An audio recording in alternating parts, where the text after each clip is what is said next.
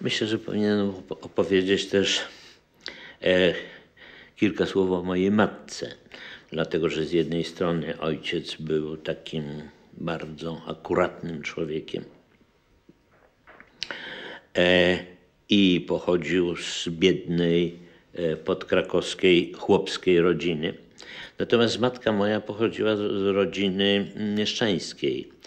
E, dziadek był u, urzędnikiem policji austro-węgierskiej, bo wszystko się działo w Przemyślu. Matka moja skończyła e, seminarium e, nauczycielskie i została nauczycielką, zresztą w szkole ukraińskiej gdzieś w pobliżu e, Przemyśla.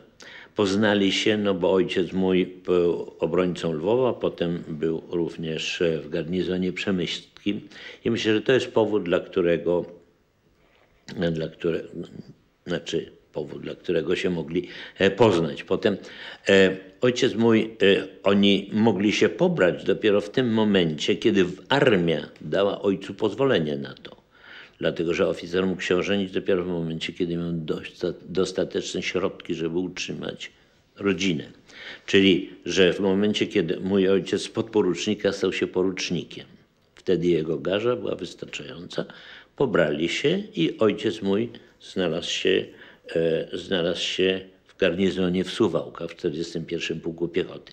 Matka w tym momencie już musiała przestać pracować, dlatego że zasada była taka, że tylko jedno z e, e, rodziców mogło pracować na państwowej posadzie. I tym sposobem matka od tamtego czasu już całkowicie tylko i wyłącznie poświęcała się domowi. A ojciec był tym, który zarabiał pieniądze na utrzymanie tego domu. I e, dlatego matka była taka obecna w naszym życiu.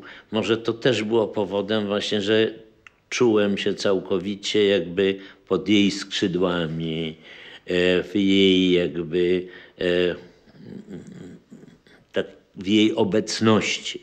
Matka była bardzo dobrą osobą. Myślę, że też jej wykształcenie pedagogiczne miało taki dobry, e, łagodny wpływ na to wszystko, co się działo w domu. I matka zawsze mm, z wyrozumieniem e, patrzyła na moją niechęć chodzenia do szkoły, na to, że mm, takie średnie zawsze miałem wyniki.